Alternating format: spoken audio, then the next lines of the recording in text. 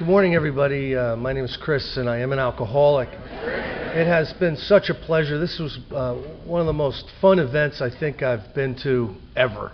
Uh, what a great, uh, what a great atmosphere, and you know what great energy everyone has here. Last night was really un- unbelievable, and uh, everyone that's participated, everyone that's participated has just been awesome, and uh, I've had, I've had a great time. Um, you know, Judy and I were um, uh, were going over some of the things this morning. We're gonna go over we're gonna go over some questions, and uh, uh, and then we're gonna uh, head into the book a little bit. There is so much important uh, important information in in the book, and you know, one of the great things one of the great things about uh, taking somebody through the steps is once once you've got them through the steps and they really have that spiritual connection they're not calling you up with personal drama anymore. You know what? The, you know what the you know what the questions are? I got this new guy and I don't know what to do. It's it's phenomenal. I would so much rather answer questions like that than, than you know my wife's not acting right. You know, kind of questions. Uh, it's just so much more uh, so much more productive.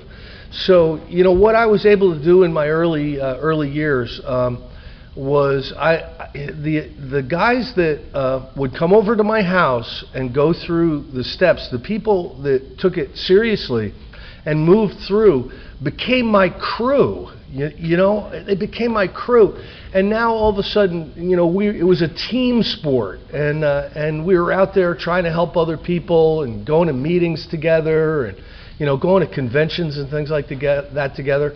And I think somewhere deep inside, that's what I've always wanted. You know, I, I, I never really had friends. I had the type of people who would share my bottle or whatever with me. But, you know, I never had that, that true kinship, that true wonderful uh, type of friendship that, that I had when, you know, I, I, I started, uh, I started working with others. There was a period of time I, I was very lucky. I, I was able to live, uh, uh, I was a facility manager, and they gave me a house so that I would be close to the facility I was managing. It was a big, huge house with enormous parking. And you know, every every single night practically there were there were people over. Uh, on the weekends there were people over. You know, Saturday and Sunday, and we were all really enthusiastic and you know really excited about uh, about this recovery stuff. And we're, you know, we're doing steps together and doing commitments together. And you know, a lot of the promises that we're we're going to read a little bit later in the 12-step promises, you know, came true to me. And uh, my life did take on new meaning. And if you have not started to work with other people yet, uh, I can't tell you there. I, I, can tell you this that it's been the most uh, most exciting thing in my life. It's been incredibly. It brought me back out into the world. I, I was like the last five years of my drinking. I was like Gollum, you know. I mean, I was holed up in a room talking to the bottle, my precious, you know, and just sit, and sitting there, sitting there drinking this alcohol. It was. Uh, and I, you know, I was gone. You know, where was Chris? You know, people living in the same town. You know, I haven't seen him in years, and I just, I just isolated. I, I was, you know, I was not really fit for human company, but, uh, but the loneliness that the alcoholic feels is just, it's, you can cut that loneliness with a knife. And one of the wonderful promises in AA is uh, you can come out of that. You know, you can come out of that cave and you can start to become part of uh, part of humanity again. How, Judy, how about some questions? All right. How do you work with a chronic relapser uh, any differently? You know, I don't know how Judy does this, but I'll allow some flexibility with a sponsee. Uh, I'll allow a, an amount of flexibility with a sponsee. You, you know, I'm not a dictator. I will, uh, I will show someone the next direction that I would like them to take. But, you know, I'm not going to be, I'm not going to be overly militant about it until they relapse. If they relapse, the book says when, when you have a relapse, the, the instruction that I read in the book is you must redouble your efforts. That's what the book says. So I let them know that it's time to start redoubling our efforts. You know, you weren't doing enough to get that connection to the power to be safe and protected. And we need to be about that business. And I'll, I'll start to get more and more uh, insistent that we, that we do this. And, you know, uh, I, I worked with two guys, and I normally don't do this, but these were two childhood friends of mine and I would not give up on them. And I, you know, uh, one of them is dead now, the other is still alive, and I will not give up on the, the, these individuals. The big problem I saw with them was they just couldn't get past their atheism. They could not believe that, that, that there was a power that could help them. And that's the only thing I think that explains because they would be willing to go to meetings, they'd be willing to sponsor people, they'd be willing to drive people to the meetings. They were very, very busy, you know, in Alcoholics Anonymous, and they did a good portion of step work, but they were never able to get that connection to, to the power. And I and I had I have a feeling that it was it was basically because because of uh, of the belief system. Before you move on, I want to say that it's really important. I know Chris and I agree on this. It is not a personal failure because you relapse. That has to do with the person and their God. I am not a better or worse rela- um, sponsor for someone's relapse. So I know the question always comes what have I missed? What have I done wrong? Don't go there.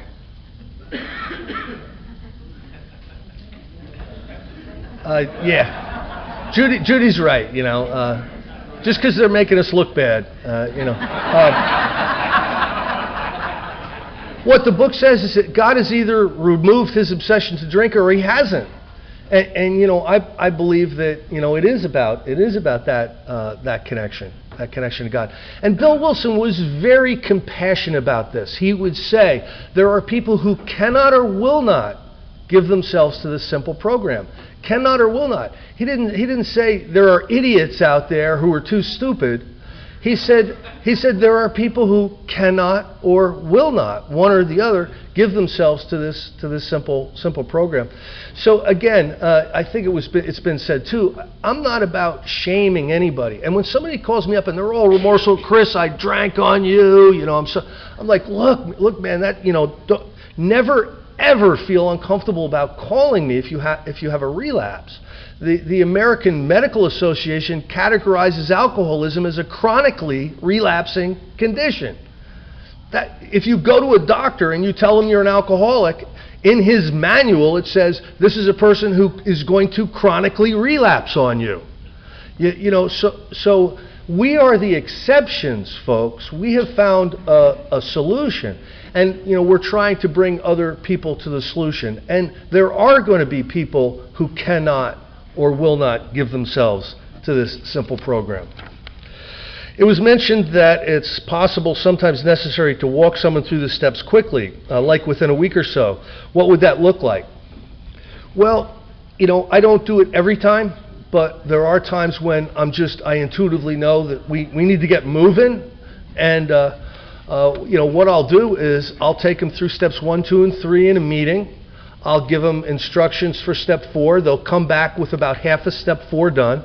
I'll make sure that it's, that it's being done at least sufficiently. You know, we're never going to do this perfectly, and we're never going to do it all the way. We're going to do it uh, as we're capable at that time. But I'll give them some direction if I see that they're missing some of the bigger chunks of truth about themselves.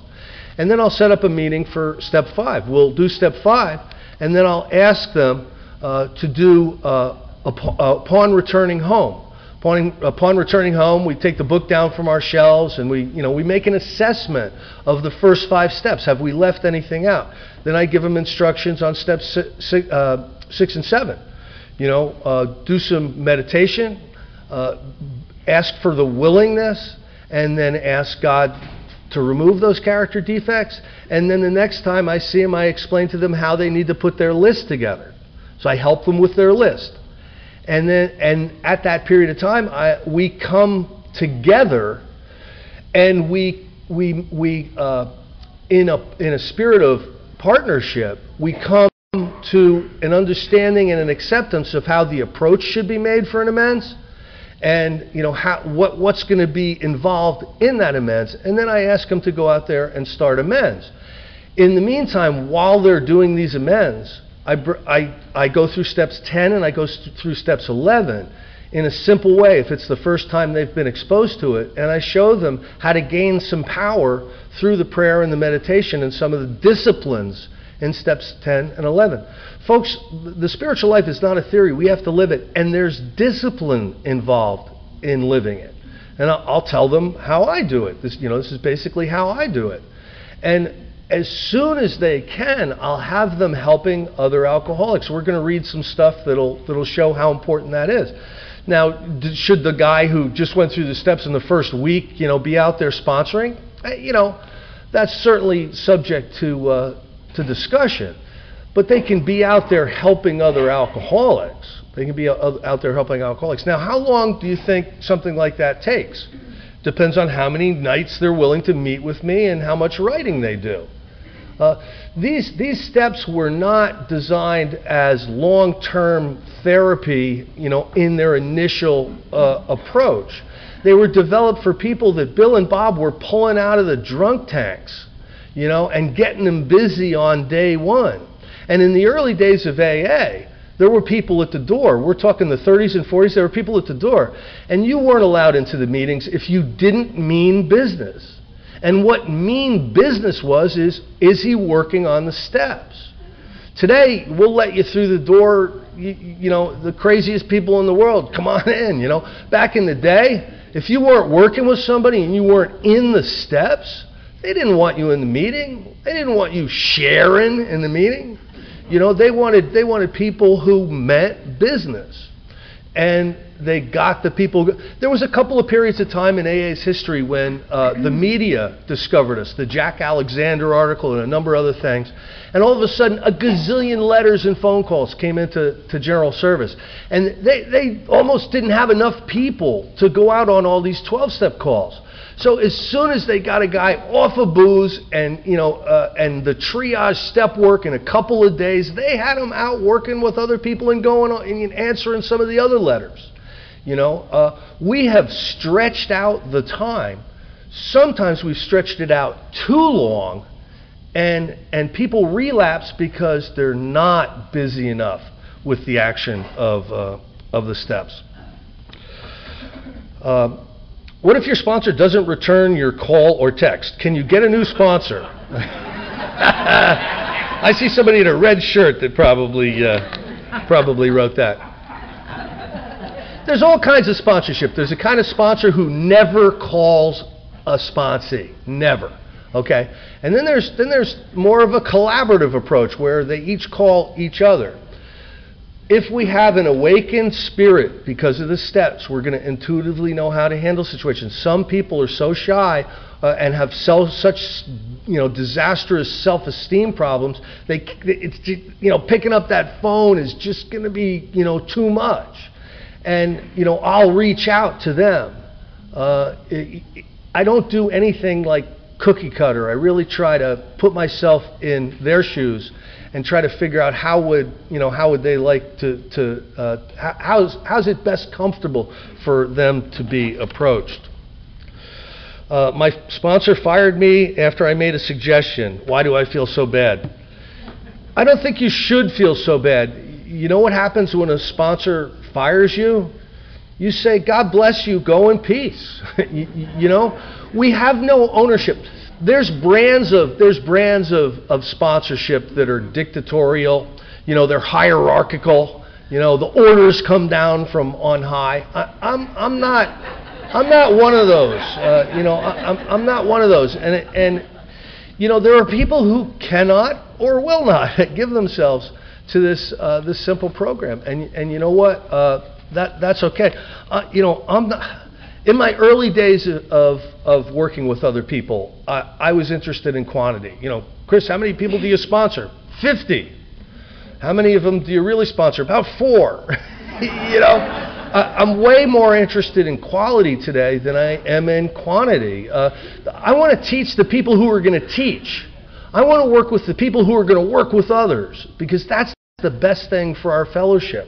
I don't want to spend a ton of time with a taker you know, who's going to be gone in three months. I, you know, I want somebody that's going to get through the work, have that awakening, and then continue to work with other people. And I wasted an enormous amount of time trying to be, you know, the un, uh, the untrained drama coach. You, you know, and uh, and you know, I that just that just didn't just didn't work as well as you, you know. I'm trying. I'm trying to give them advice on their jackpot you, you know, I, I mean, it just it just really wasn't wasn't working for me. Here's one. This is kind of a long one.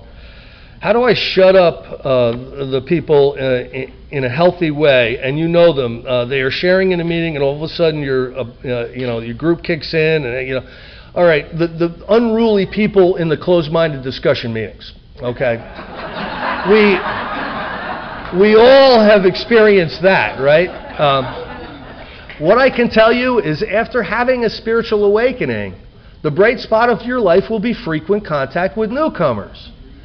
Is frequent contact with newcomers uncomfortable to you? You know, there's step work to do. Um, you know, and I'll tell you what, we have a home group. We had a home group in New Jersey that I was part of. I'm in Connecticut now.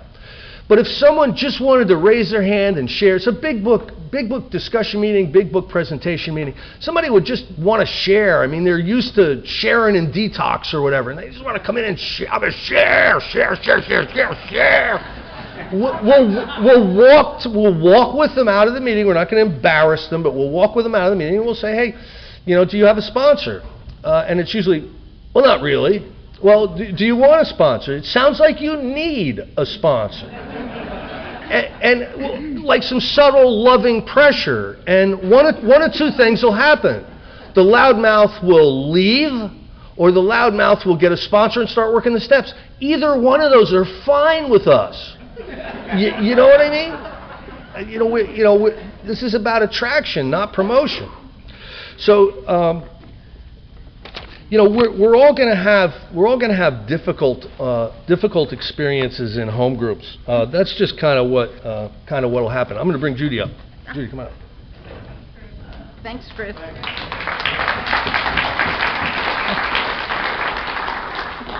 Good morning, everybody.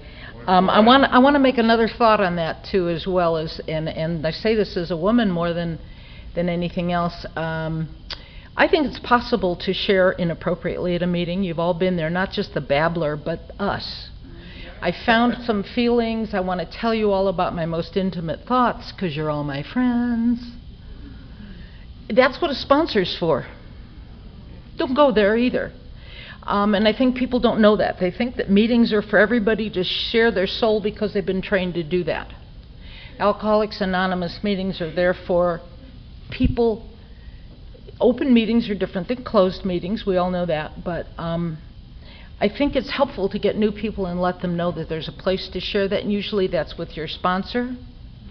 Um, which leads me to a question. Uh, I have a question about what are your thoughts on gender and sexuality when working with others?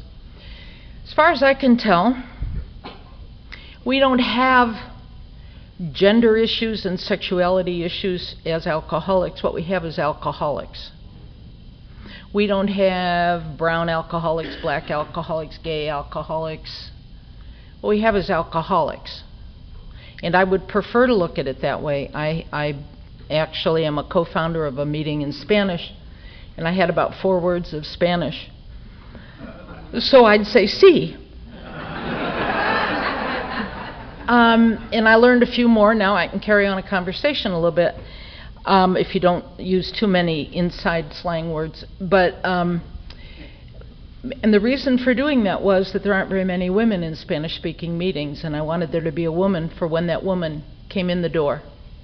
I wanted someone to be there to greet her, and I didn't know any other way to provide that, so I went.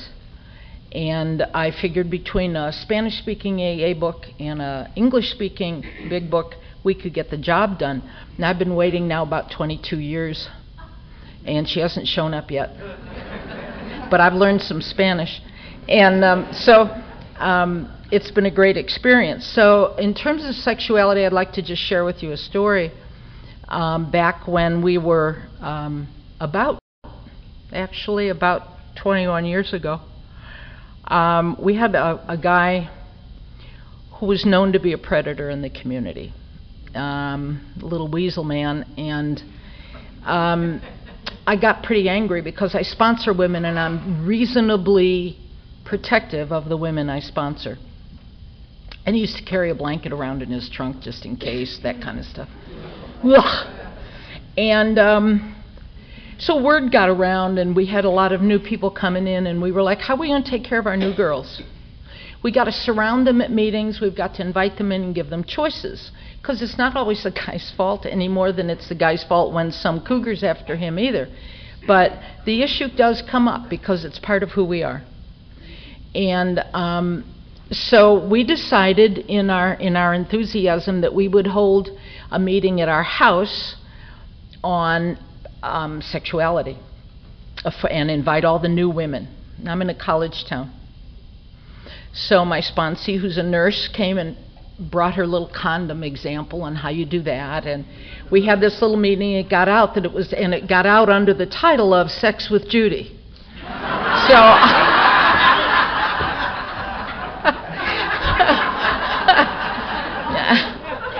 And we had a great afternoon, and we felt like we'd informed all these women. Nine months later, two children was born, and one of them became my grandson, who just celebrated his 20th birthday while we were here. We've never had enough nerve to try that again, but we gave it our best shot.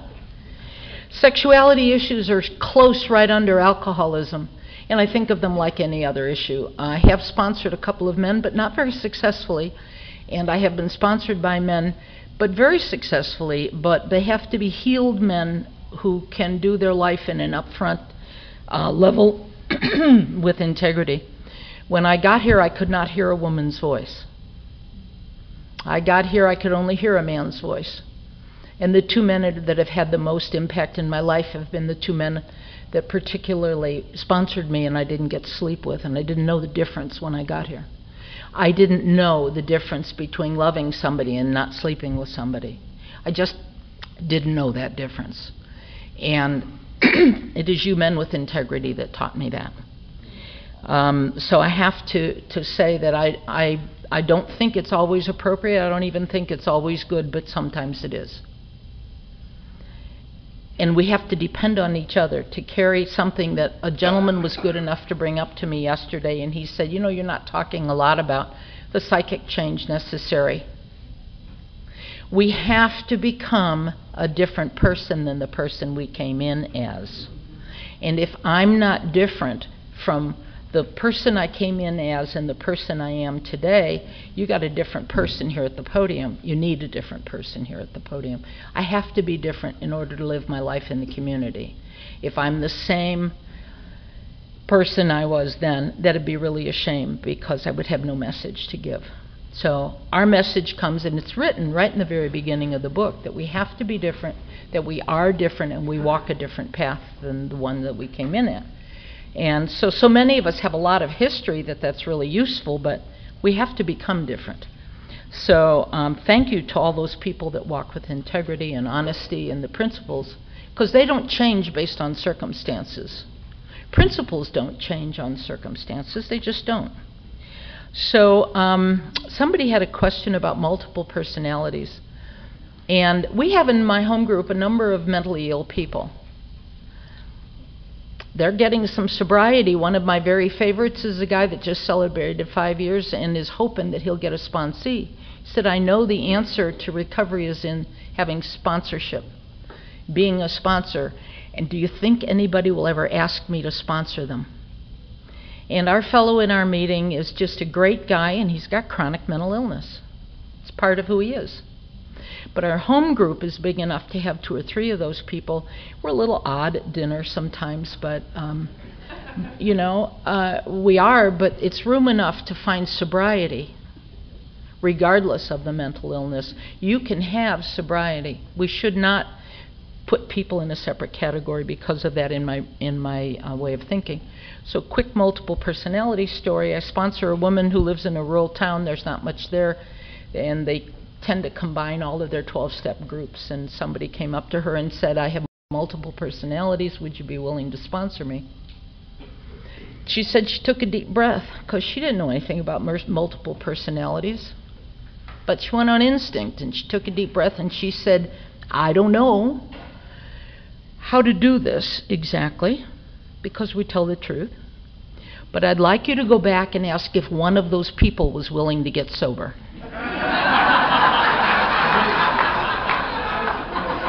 And that's the one I'd like to invite up. And she sponsored the woman for a long time, whoever that person is. So that's part of my uh, that's part of my stuff. Uh, there were a number of questions about how do you end or change sponsorship. One of the things that's an indicator of personality change is graciousness. You see it in a lot of people. There's a graciousness, there's a consideration, there's thoughtfulness. So it's really nice if we're able to say thank you. You have given me the one thing, the one thing in life that's irreplaceable. Chris talked about it. You've given me your time.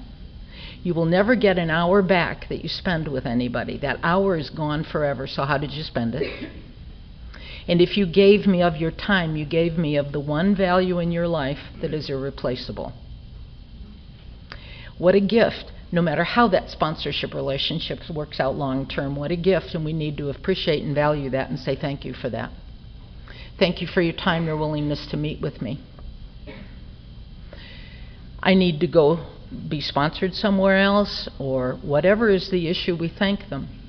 Buy them a cup of coffee, usually. And um, hopefully, we've made a friend as well. But time is so critically important. So, what if your sponsor is not willing to move forward? She's keeping you on the same step you started on two years later. I don't know the circumstances of that. So I, I really am hesitant to to discuss it. It might be that your sponsor doesn't know the rest of the steps. It might be that you haven't gotten the one you're on. I, I don't have an answer to that. But I think saying stuck is not good in AA. What do you think? I think saying stuck is not good. We need to move and we need to move on and we need to improve and we need to change. And sometimes that takes a lot of people. I learned this weekend from some folks that if I were to need to ask some questions, I'd call maybe Steve, or I'd call Lou, or I'd call Nancy, or I'd call Mary, because we all hold each other's hearts and our each other's lives in our hands, and we need to go where those answers are, and we we land lightly. We land lightly. We take what is there and then we move on, but we keep encouraging each other to move forward. What would you do with a sponsor who hasn't completed the step work and calls annually two, three months before an AA birthday? wanting you to give them tokens at celebrations. So I have a question for that. Have we substituted tokens for sobriety? Does my token mean more to me than the substance of what I'm doing? We spend about twice, three times as much money on chips as we do supporting GSO annually. Is my token more important than my sobriety? So we're big on celebration. How about our reality? Chris.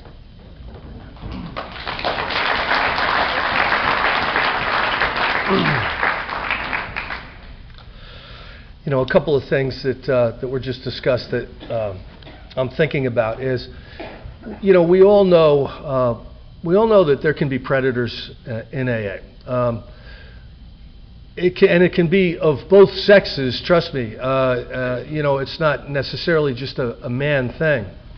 But I'll share one experience. Um, I'm at my home group, and there was a guy who, you know, there was some rumors around he would, uh, uh, that he would, you know, be with the little boys little in, inappropriately. And we're at the meeting this one time. We're at this meeting this one time, and a guy, a, a, a, boy that he had, you know, been inappropriate with, grew up a little bit and got a little bit bigger, and showed up at the meeting about three or four years later, and and grabbed this guy outside and, and you know started started beating the crap out of him. And uh, I was there with one of my one of my sponsees, and he was my sponsee. He was like a, a marine, you know, big tough guy. And uh, I said, I said, Liam, uh, in a few minutes, break that up. You know? folks, Folks, some people need a meeting, some people need a beating. You know what I mean? And, uh, you know, li- listen, think, think about this. think about this. It's a tradition one issue. We need to have a safe environment. Does, does our rooms not need to be safe? Absolutely. So it's a tradition one, and in tradition one it says our group's welfare comes before personal welfare.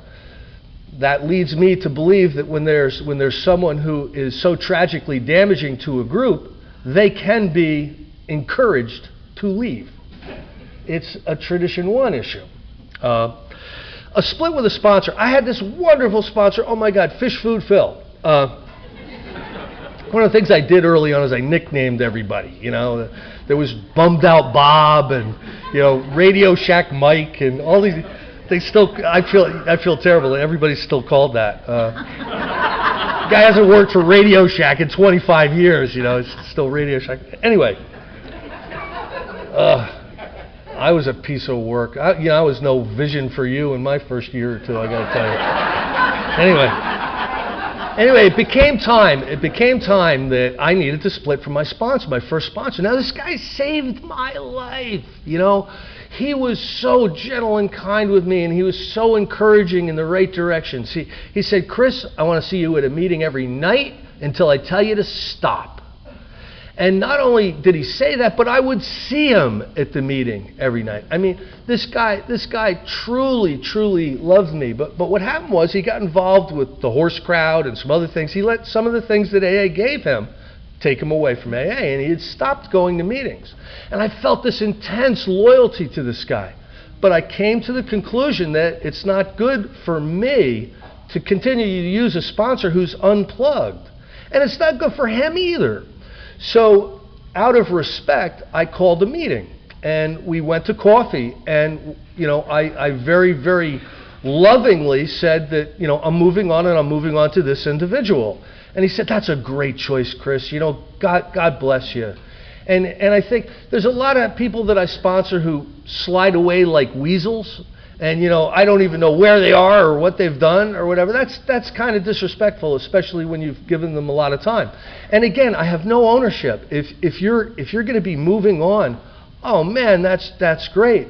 And a lot of times when I've got sponsees year after year after year, I encourage them if it's time for them to go through the steps again, I encourage them to do that with someone else so they can get another insight, a different experience. You know, we don't own these people. In the book Alcoholics Anonymous. Uh, there's, I believe that I've read that there's three descriptions of the people we work with. One is a prospect, and a prospect is simply somebody who, who looks like you know they're a candidate for AA. And you go and you do your pitch. We're going to talk a little bit about you know the first and second visit and all that from working with others. But that's somebody who has potential you know to get sober. Then there's the protege. They call them the protege in the book. And that's the person who's working with you, working through the steps. And then the next description Bill uses is friend. You know, friend. They'll, they'll become your, your friend. Um, I really discourage somebody who's been who's been my you know working with me years and years and years to call me up you know with with the simple things. I mean I I'm not the answer man. I'm more you know I'm more of the channel to the answer man, you know, and uh, and again, we, we develop wonderful relationships. The, the best friends in my life today are the people, uh, you know, who I've, who I've really experienced uh, reco- recovery with. Here's another thing that I'll do. Let's say somebody's non-compliant. They'll tell you to your face that, yeah, I'm working on that four-step, or I'm doing this, or I'm doing that, or, you know, they're misbehaving in meetings. I have what I call an exit interview. Uh, I've learned this from business, you know. I have an exit interview, and I sit them down and I go, I go look, certain things are, are really necessary in Alcoholics Anonymous to have an, a successful experience. Here are the things that I think are necessary that you're not doing. A, B, C, D. You know, and, and that's, that's my exit interview. And I, ba- I basically say, you know, are you willing to get going on this stuff. And one of two things will happen. One of them is they'll start to get willing and they'll start to do these things and they'll start making an effort. And the other one is they'll disappear from me like a plague. And folks, either one of those is fine. You know, I, I don't have ownership. The only requirement for membership in AA is a desire to stop drinking. They are totally welcome in the meetings. They're totally welcome to work with other people. My time is valuable. I need to be spending it on the people who are going to be compliant and that are going to really try. The book tells me that. It tells me do not waste time with people who are not willing to work with work with you. I'm going to go to chapter working with others. Is that okay, Judy? Yeah, but You got something else? Yeah, I Okay. just want to read this from, there's a motivation, there's a reason for some of what we do, and I'm sure you all know all of this already, but back in the doctor's opinion, it starts talking about how we're different. And he says some things that have always really triggered me into um, understanding Alcoholics Anonymous. And one of them is a simple little hidden phrase, and it says, We are perhaps not well equipped to apply the powers of good that lie outside our synthetic knowledge. Now, I don't very often wake up in the middle of the night excited and thrilled and awakened by the adrenaline charge of the powers of good. I'm the kind of person that wakes up angry, wanting to know how long it's going to take to smother Lou before dawn. You know, it's kind of how I am when I, you know, in the middle of the night, I wake up in fear. I wake up in anger. However, this is what reminds me to get back to what it is we are at our essence. The powers of good are a powerful thing, and I forget them. I just forget them. Same page it says, it tells us who we are, the unselfishness of these men as we have come to know them, the entire absence of profit motive, and their community and spirit is indeed inspiring to one who has long, labored long and wearily in the alcoholic field. They believe in themselves and still more in the power which pulls chronic alcoholics back from the gates of death. There's lots of challenges in here. Is that me? Is that me? Is that what I'm taking out into my world? There's lots of specific ways that I get to address this, and most of those ways are addressed in the book, but it calls me to bring to this the power that was not mine when I got here, the power of good, an absolute power of good. How does it feel to have that kind of access to that kind of power? We can do so much more than I ever could, waking up in the middle of the night, smothered in my own fear. So, go, Chris.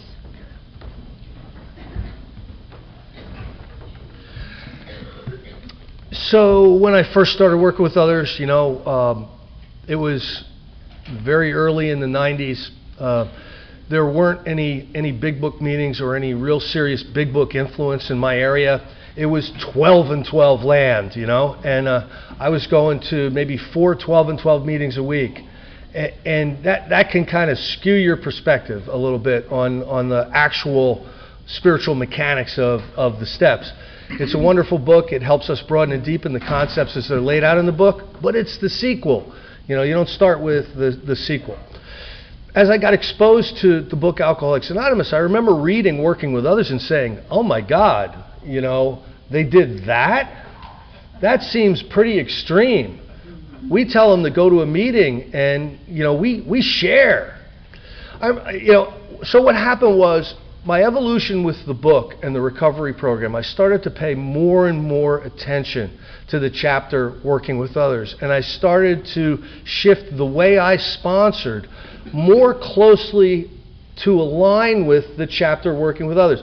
You know, how revolutionary to actually use the chapter called Working with Others for working with others. It was revolutionary, you know, in, in our in our area. Anyway, Oh God, I remember. I'm going to get sidetracked here. I started a riot uh, in at the New Jersey State Convention uh, one one year, uh, and and here's basically how it happened. I, I was asked I was asked to be part of the Alcathon. The Alcathon was 12 hours, 12 steps, and I had the 11 o'clock at night step 12, and and I was given 20 minutes to share.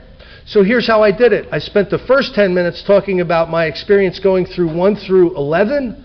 And then the, the last 10 minutes, I, I talked about how I worked with others. And there was a grumpy kind of guy that was in that meeting that was kind of taking exception to what I was talking about. And as soon as he had a chance to, he shared. And it was like this You know, kid, I don't know what the hell you're talking about, all this steps and all this crap. You know, you sound like a bad therapist. I, know, I don't know where all these, I forced out all this stuff. Let me tell you what I do. I throw them in a car and I take them to a meeting and I love them until they can love themselves and all this other stuff. All this crap. And, uh, I wasn't so recovered at that period of time. Uh, that I was going to just allow that to pass. Uh, and, and because I was leading the meeting, I did have, have rebuttal rights, you know. So basically, what I said was, uh, you know, uh, Clem, thank you very much for, for, for that, uh, that opinion of yours. You know, um, uh, very, I find it very interesting. Um, however, there is a chapter in our book, Working with Others, that specifically lays out what we're supposed to be doing. And you know what? I'm pretty familiar with that chapter. And I don't remember throwing people in cars, and I don't remember loving them until they love themselves.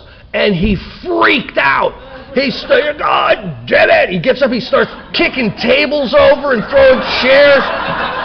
Oh my God! It was like the, the, the, the meeting chair goes, meeting's over, meetings, and people blowing for the exits.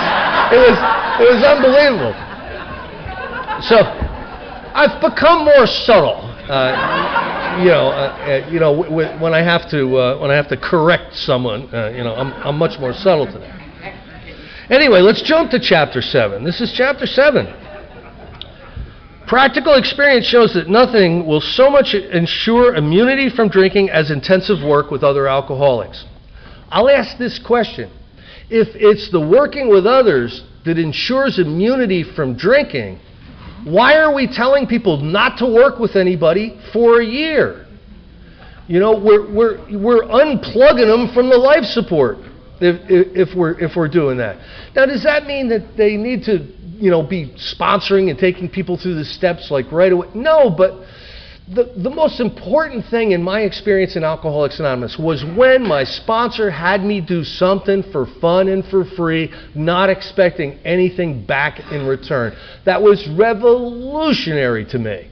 I couldn't understand why anyone would do that. I had heard about Mother Teresa and things like that, but but I you know that that's not what I thought. You know, look, it's, why would I do something if there's not some kind of payback? Uh, you know, why? And and so he said, Chris, this is what I want you to do. You know, I want you to clean up here. I want you to go cook there.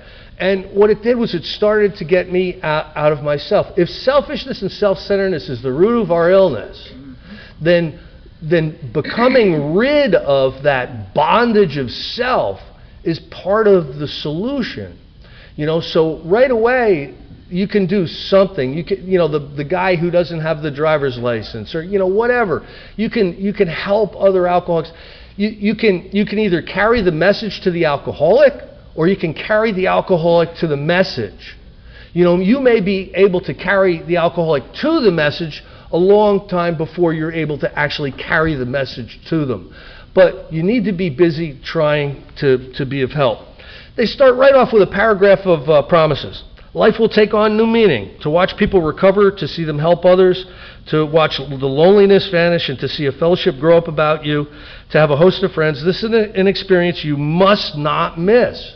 I am telling you, folks, we create the fellowship we crave. When we start to take people through the steps, walk with them through this process, we, we start to create the fellowship we crave. And that's what I want today. That's what I want today. I want I want to be part of humanity again. You know, I was so cut off from it. I was so alien to you know society and and to all of you. Uh, I need to get back out of the dark and head back into the sunlight of the spirit where you are. You know, and that's a very very important thing. Now, this book was written when there was two groups and they gave you a lot of instructions in where and how to find alcoholics. You know, where do you where do you find them? How, you know, how do you begin to work with them? There's great information in here. A lot of us have stopped even trying to do this because all of our stuff is in AA. You know, we wait for them to come in to AA. I'll tell you what, if each one of us in this room would follow these directions and go seek out a prospect for Alcoholics Anonymous in the drunk tanks, at the hospitals, in the prisons, and get one person into Alcoholics Anonymous in a year, we could double our fellowship. You, you, you know what I mean? It would be such a wonderful thing if we went back to these basics and really started to take them literally. Okay, you found somebody. You found somebody. It says if there's any indication that he wants to stop, have a good talk with the person most interested in him. Get an idea of his behavior, his problems, his background. I do this with the family. A lot of times I'm brought in front of people, you know, for the 12 step work by a family. I want to know a little bit about them first. I want them to be able to identify with, with me. So it's important for me to know a little bit about them. Says here sometimes it's uh, wise to wait till they go on a bench. Why is it wise to wait for somebody to go on a bench? Because desperation dissipates. You go on one more bender, you're in one more jackpot, you're out of the big bed one more time, you know, you've lost your job, you got another DUI. That is a really good time to be talking to somebody because they're going to be willing to listen. You know what I mean? So it's, it's telling us, you know, don't, don't push this too hard with these people. If he does not want to see you, never force yourself upon him. Uh, again, I believe our public relations policy is attraction, not promotion. I believe, though, that on our 12 step calls, we do promote. We talk about our experience, our strength, and our hope. And within that is some serious promotion. I, buddy, I was just like you. You got to understand, I, I know exactly how you feel. You know, here's some of my own experience, and you tell them some stuff, and, you know, it might be the first time they realize that there's somebody that understands. And then you, then you tell them, I'm not like that anymore. You know, I've found a solution. And when they believe that, when we're authentic enough and they believe that, that is a wonderful opportunity to gain some, gain some willingness, gain some participation, and get working, uh, working with somebody. Uh, see your man alone if possible. Uh, at first, engage in general conversation. This is the first visit. It's got the first visit in here and the second visit. It tells us what to do. After a while, turn the talk to some phase of drinking. Tell him about your own drinking habits, symptoms, and experiences, and encourage him to speak of himself. You know, let's let's get Sharon here about what's what's going on. Um, if he's not communicative, give him a sketch of your drinking career up to the time, but say nothing at the moment about how that was accomplished. It's like you're throwing the bait in the water when you're doing this. You know, I buddy, I was just like you. Oh my God, you know, three DUIs, you know, families leaving me, just drinking alone, uh, terrible depression, you know, uh, all this stuff, and uh, and then let them, if they will, ask you, well, what happened? You know, why aren't you like that anymore? Strike, you got them. You know what I mean? And now, now you can start reeling them in and you can start talking about the Fellowship of Alcoholics Anonymous and its 12 step program of recovery. Um, if you are satisfied that he is a real alcoholic, to, to, begin to dwell on the hopeless feature of the malady. This got me in trouble one time. Um, I showed up at a meeting. I was traveling. I was going through North Carolina, and I showed up at a meeting that the, it said there was a meeting, and the meeting book said it, right? But there was no meeting there anymore, and somebody else had made the exact same mistake. He just got out of prison and he was looking for a meeting, and he had an old meeting book. So we're both standing in front of this church door that's never going to open. And so I say to him, "Hey, you know, listen, why don't we just go get a coffee coffee over at Denny's and we can talk?" And he's like, "Sure." And he's got he's got his uh, his wife with him, and uh, we I've got my wife with me, and we both go over to Denny's. And I start to do exactly what the book says. I start to dwell on the hopeless nature of the malady and I wasn't very practiced at it. I basically was telling him, you know, you're going to drink yourself to death. It's going to be it's going to be hell. No, no matter how bad it is now, it's going to get worse.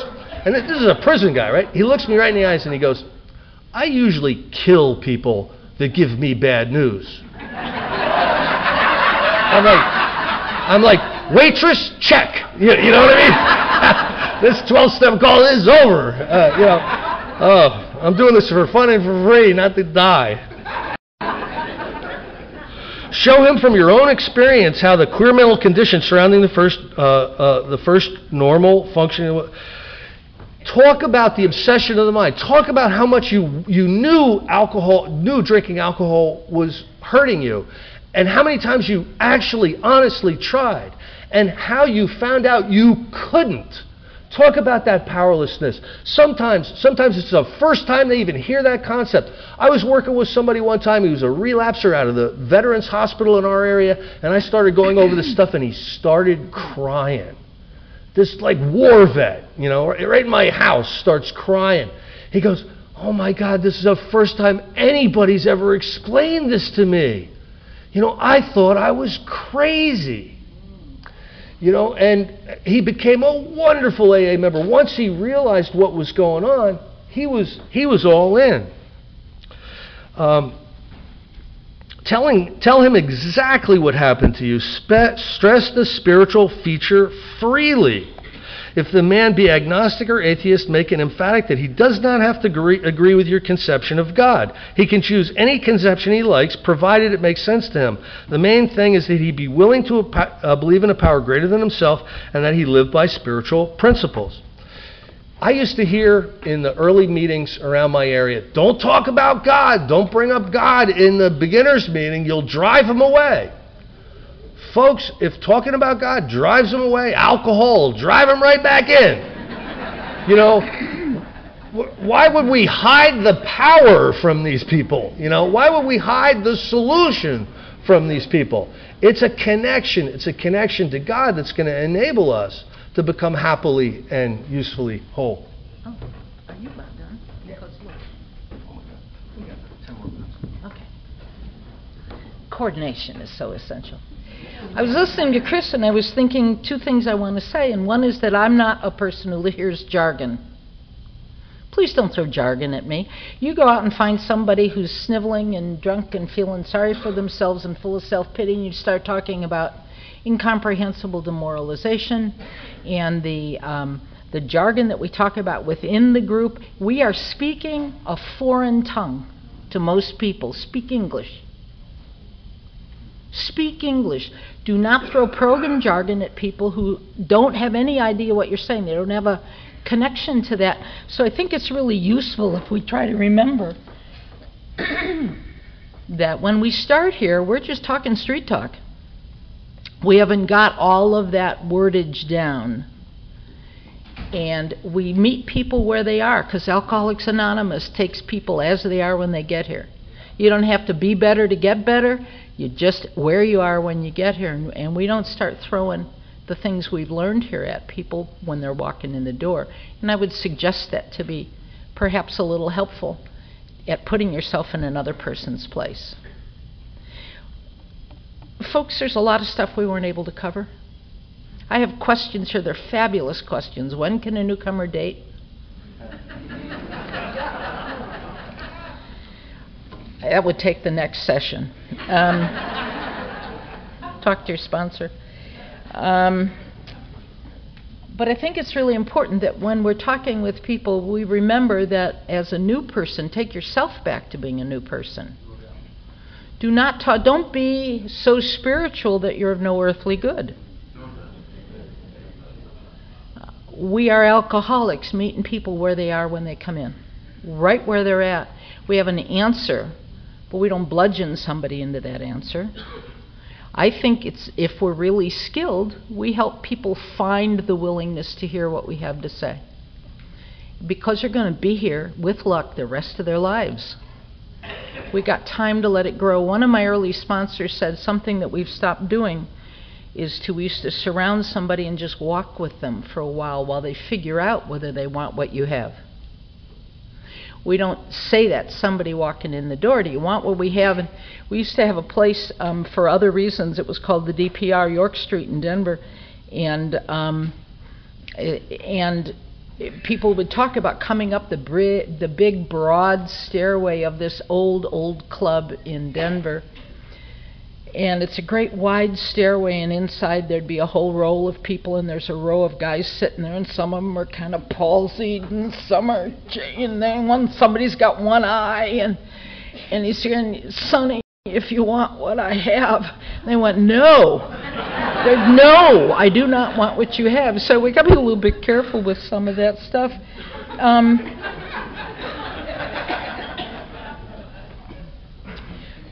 So, what I want to say is that the book is filled with advice for how to sponsor others. It starts at the beginning and it works all the way through. It's not only and it works with others, those are specifics. Thank you for going through that. The book talks a lot about other ways, stuff like Bill says when he was being, when he was being 12 stepped. My gin would last longer than his ranting. So, what's our lesson? We do know ranting, but he did know ranting. We talk about the examples of Jim and the examples of the salesman, and it says, We told him what we knew of alcoholism and the answer we had found.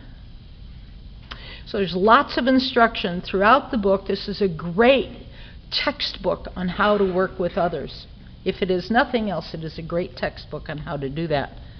And so Bill says we do, and, and one point that I think um, that I didn't hear for a really long time. Bill says we're going to talk about things spiritual, moral, mental, physical. We hope we don't offend anyone, but they need to be talked about.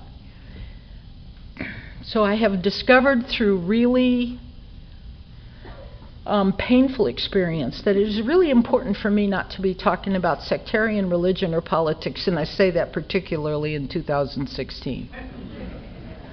I don't wear pins, I don't wear buttons, I don't wear car things, I don't I like to come with none of the stuff that would alienate me from a newcomer who finds one more reason to be separate because I'm a whatever I am. You can be too much or too little. You can be uh, very political.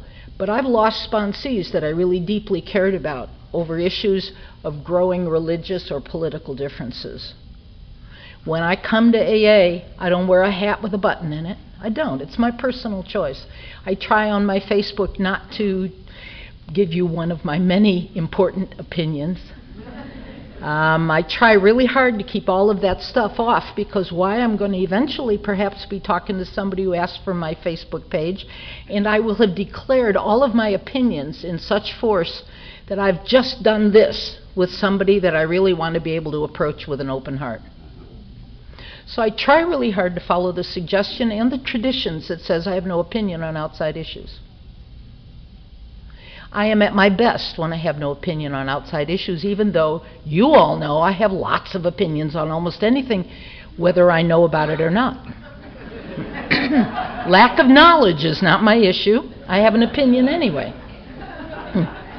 so I think it's really important for me to remember that if I'm going to approach someone or if someone's going to approach me or if I'm going to be approachable, if I'm going to talk to a medical group, if I'm going to go talk to a prison, I don't lead out with what differences I can find between us. I want myself to be available, bigger than myself. We were talking about that, and our speaker so beautifully talked about it last night. I want to be bigger than I am. I want to be better than I am. And so I leave all of that stuff that I've learned at home because the powers of good transcend my learned knowledge. So that's, that's the one thing I would like to, to suggest that, especially in this particular year, um, that we leave that aside when we come to Alcoholics Anonymous and we find refreshing in our meetings the fact that none of that is the topic. None of that is even a subject for discussion. So that my sponsees and I, whatever our background, whatever our framework, whatever our political leanings, we're able to approach each other under the one thing that unites us. Our tradition one is about unity.